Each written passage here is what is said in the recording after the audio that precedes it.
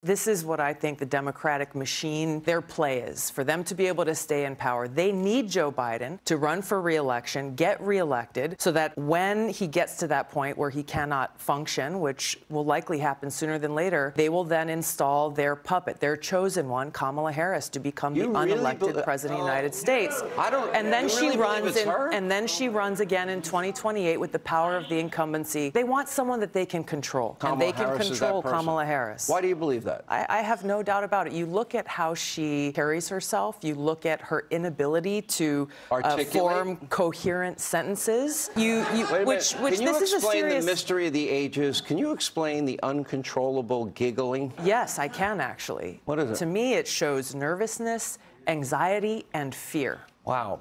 That's, That's how a she great covers it analysis.